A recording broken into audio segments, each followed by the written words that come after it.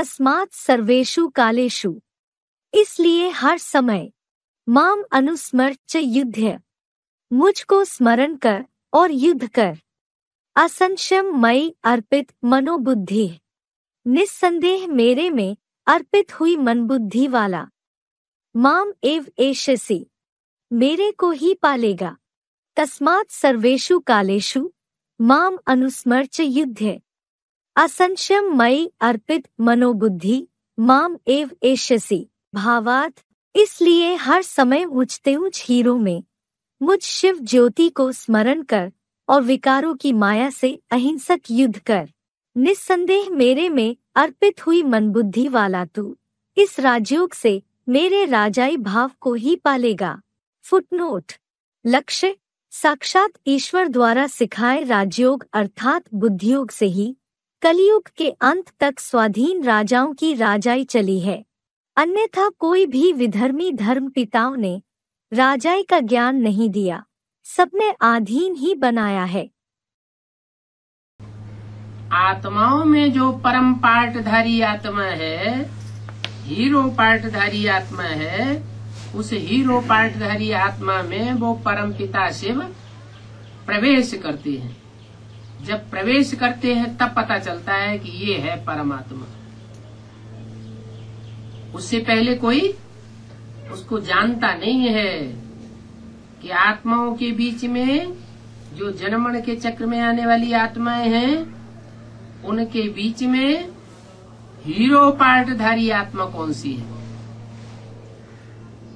वो जब प्रवेश करता है तो पता चलता है ये परम आत्मा है, परे ते परे स्टेज का पार्ट बजाने वाली है। उसको कहते भी है भगवान। भग अर्थात भाग्यवान। उससे ज़्यादा भाग्यशाली रथ और कोई होता नहीं। है तो एक ही। अनेक नहीं है। एक को ही याद करना है। तो ये जो महाभारी, महाभारत लड़ाई जो लगी थी ना, उसमें बच्ची कोई वो लड़ाई, वो तो लड़ाई लगती है उन लोगों की। जैसे तो बंदूकों की, तलवारों की लड़ाई लगती है। और तुम बच्चों की तो ये कोई हिंसक लड़ाई थोड़े ही है। नहीं, ये हिंसक लड़ाई तो उनकी है। जो दिखलाते हैं।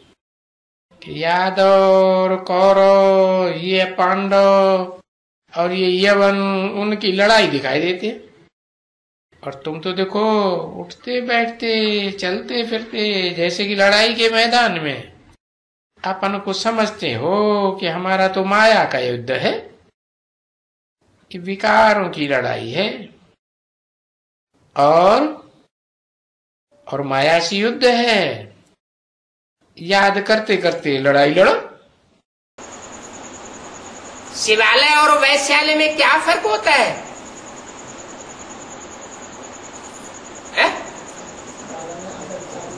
शिवालय में अब बेविचारी होते हैं। क्यों? ढेर सारे देवी देवताओं की पूजा नहीं करते हैं। है? पूजा नहीं होती। अच्छा शिव के मंदिर में जो ढेर सारे देवी देवताएँ रखे होते हैं शिवलिंग के आजू बाजू में चारों तरफ़ दीवार में लगे हुए, जड़े हुए मूर्तियाँ रखी होती हैं, उनकी पूजा नहीं करते। हैं? हाँ। वो शिवालय इस बात की यादगार है कि सतयुग त्रेता में अभिविचार होता है। वो अभिविचार की स्थापना शिवालय की यादगार है। क्या यादगार है? कि सबका मुख एक बाप की ओर है। मुख एक बाप की ओर है, माने बुद्धि एक बाप में लगी हुई है। जब मन बुद्धि ही एक बाप में लग जाएगी तो और कर्म इंद्रियाँ दूसरी ओर नहीं जा सकती।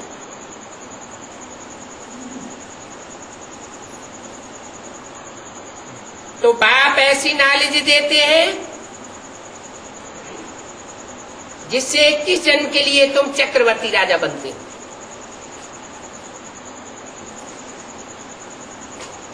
भारत जैसा ऊँचा कोई था ही नहीं।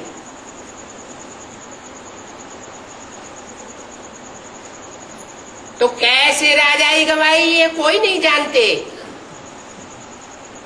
कोई नहीं जानते? अरे ब्रह्मा कुमार कुमारी तो जानते होंगे। है? जानते हैं कि नहीं जानते? जानते तो अंदर से पूछो। दृष्टि, वृत्ति, कृति, कर्मेंद्रियों का विचार अंदर से निकाल फेंका है।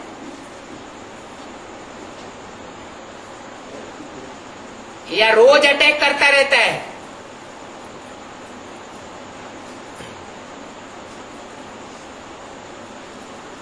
इसलिए बोला, जिस समय ये वाणी चलाई गई, उस समय तो बेसिकली भी नहीं जानते थे। क्या? कि बादशाही देवताओं ने कैसे गवाई? कैसे गवाई का क्या उत्तर निकला है विविचारी बने तो राजाई गवाई दी। ज्ञान मार्ग की गीता से तो राजयोग की उपलब्धि होती है। राजयोग, सहज राजयोग का ज्ञान मिलता है। हम्म? तो जो सहज राजयोग का ज्ञान मिलता है, उसका रिज़ल्ट भी आता है। राज भरा हुआ है, रहस्य भरा हुआ है तो किस बात का रहस्य है? राजाई प्राप्त करने का रहस्य। एक भगवान ही है जो इस सृष्टि पर आकर के राजाई स्थापन करता है। या? राजाई की पढ़ाई पढ़ाता है। और दुनिया में कोई धर्म पिता नहीं है जो राजा बनाता हो। राजा माने स्वतंत्र, स्वाधीन। तो क्या बनाते हैं दूसरे धर्म पिताएँ पराधीन बनाते हैं। क्या? अपने अधीन बनाएँगे, प्रकृति के अधीन बनाएँगे, लेकिन स्वाधीन राजा कोई नहीं बनाता। इसलिए आज क्या देखने में दुनिया में आता है? हैं? आज दुनिया में यही देखने में आता है, अभी खास करके 100-200 वर्ष के अंदर, जबकि दुनिया अंतिम छोर पर है। तो राजाओं का शासन चल रहा है या प्रजा का शासन चल रहा है? ज़्यादातर देशों में प्रजातंत्र शासन चल रहा है। इसलिए भगवान बाप बताते हैं कि प्रजा के ऊपर ये प्रजा का शासन है बेकायदे राज्य। क्या? क्योंकि स्थापन करने वाला एक नहीं है। जब स्थापन करने वाला ही एक नहीं है तो राजा कैसे एक राजा ही चला पाएगा? है? एक राजा का शासन चलेगा या ढेरों का शासन चलेगा? ढेर, है? प्रजातंत्र में ढेरों का शासन चल पड़ा।